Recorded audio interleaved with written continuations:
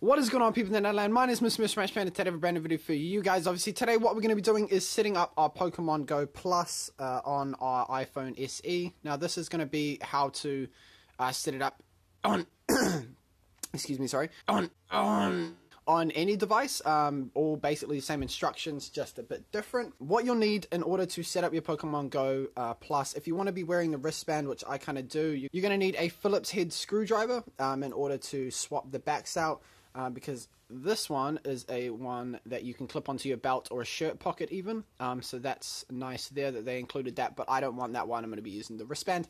so that's all you need is just a Phillips head screwdriver, uh, small enough to be able to fit in a screw little thingy if it just wants to focus. There we go.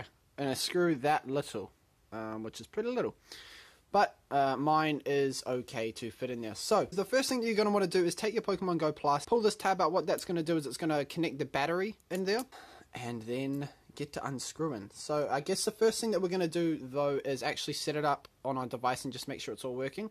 So we're going to go to thing, blah blah, come down, make sure you've got the update, latest update. Tap on Pokemon Go Plus, and let's see if I click that, it'll turn on. There we go tap that thing, pair it. Oh, and it vibrated. That's uh, successful. Successfully connected to Pokemon Go Plus. Awesome. So if we now back out of here, that's going to be all done, I believe.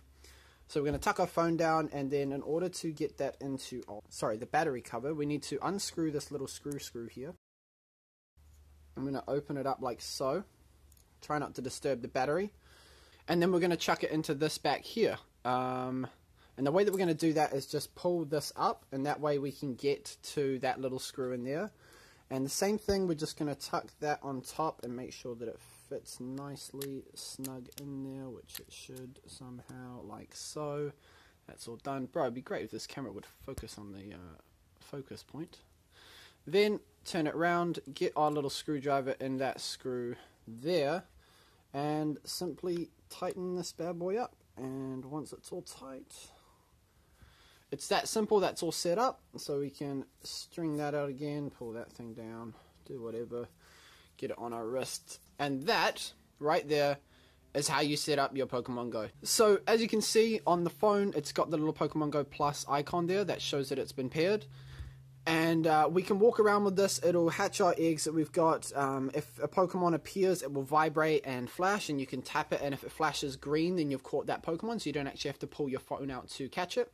Um, I'm not sure if it works with uh, Pokestops. I don't think it does, if I'm honest, but maybe they'll update that in the future. But that is pretty much how to set up your Pokemon Go Plus. I hope you guys enjoyed this video. It's pretty simple, and all you need is a screwdriver. Thank you guys so much for watching. Peace out.